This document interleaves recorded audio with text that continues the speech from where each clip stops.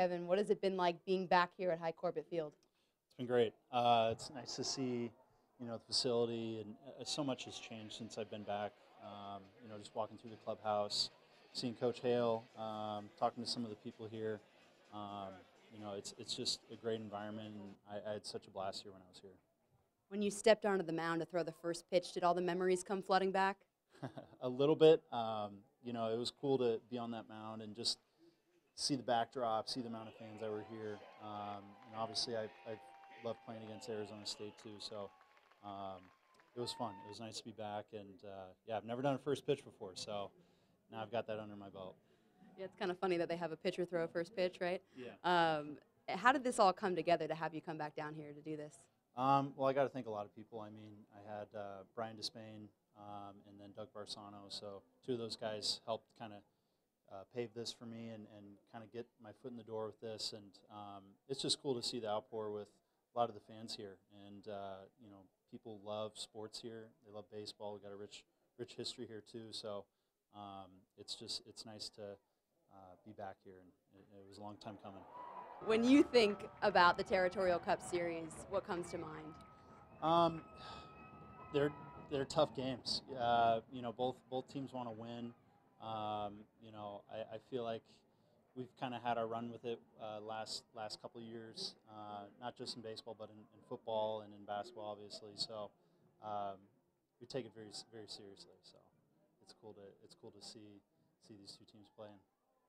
From getting sent down to the minors last June to becoming an X factor in the World Series run, how do you reflect on the last year?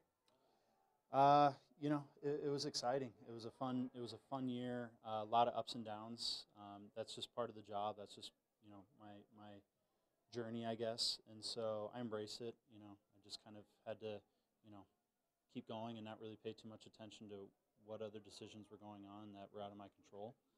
And um, you know, I just wanted to go out and do my job and be the best version of myself. So. What did you learn about yourself? Uh, be more patient. Um, you know, not expect results right away, um, and enjoy enjoy the little things. You know, being being more present with my teammates. Uh, you know, with my family and stuff as much as I can when I'm on the road, um, and know that I'm I'm doing something that I love to do, and um, you know, not everybody gets to the level that get to. So.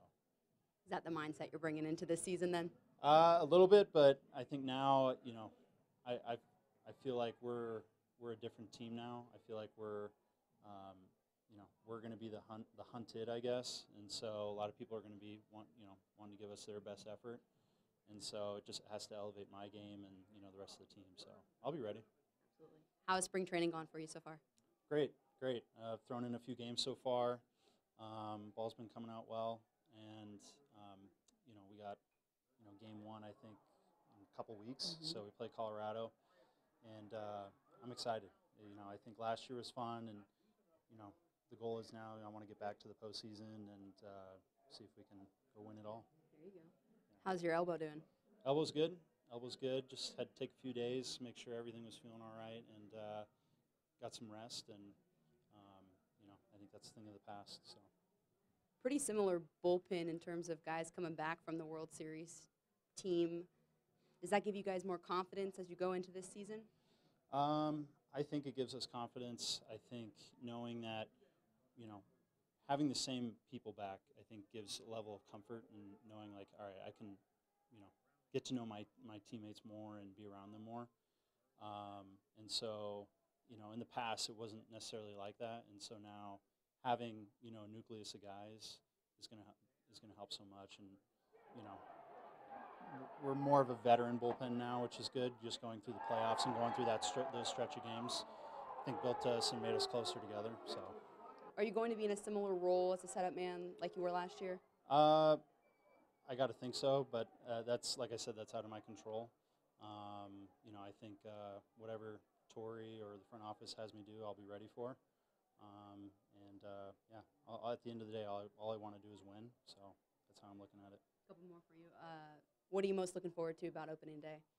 Uh, seeing the fans. Uh, I think we'll have a good good sized crowd for those games. Um, I know we play Colorado, and then the Yankees will be a great series, so um, should be pretty fun, wild uh, first six games I think at home. So I'm looking forward to it.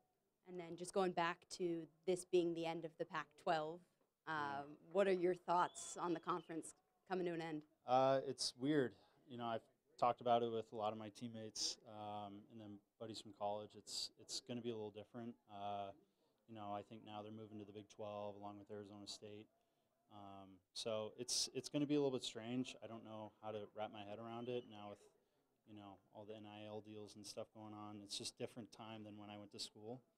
Um, but uh, you know, we'll see. I don't know. I'd like to think that's for the best, but you know, you don't know. Anything else you want to add? That's it. All right, thank you, Kevin.